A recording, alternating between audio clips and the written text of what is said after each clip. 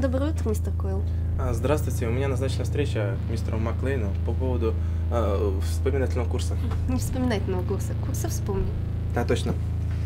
Мистер Дуглас Койл пришел, мистер Маклейн. Вы примите его или вы все еще заняты? Пусть проходит, блядь.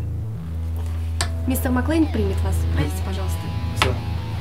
Кабинет Ди, это направо.